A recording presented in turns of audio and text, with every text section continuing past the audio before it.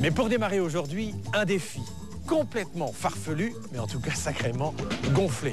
Un défi comme seuls des hommes hors limite pouvaient se lancer. Un duel entre d'un côté Bruno Mingeon, champion du monde de Bob à deux, et de l'autre Jean-Michel Bale, un pilote moto au palmarès le plus éclectique possible.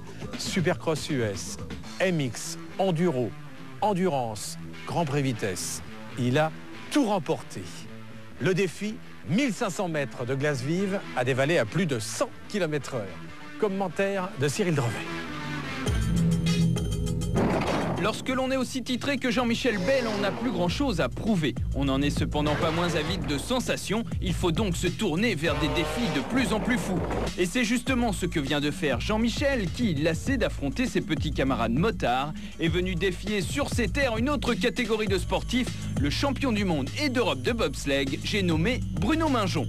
Car oui, vous avez bien compris, Belle JMB pour les intimes va tenter devant vos yeux, avec sa Honda 250, une moto de cross équipée pour l'occasion de pneus à crampons, de battre sur la piste historique des Jeux Olympiques d'Albertville les chronos réalisés par Bruno Mingeon avec son bobsleigh.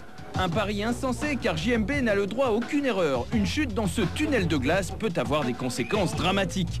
Alors d'après vous, qui du motard ou du bobslegger va le plus vite? Retenez votre souffle, voici la réponse en images.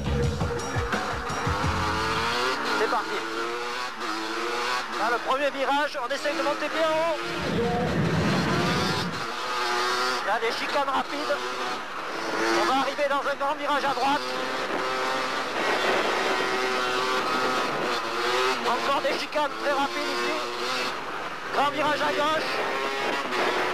On va arriver dans la partie couverte. Voilà le virage à droite avec la sortie avec le tunnel. On rentre dans le tunnel. Le virage numéro 16.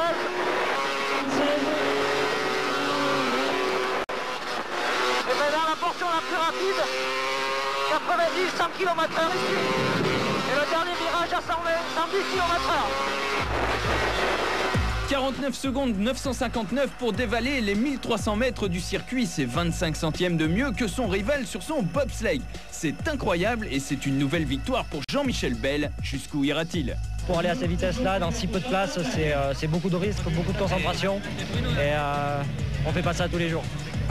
Un peu refroidi tout de même le gaillard, mais gageons néanmoins que l'on devrait le retrouver prochainement dans d'autres challenges aussi dingues.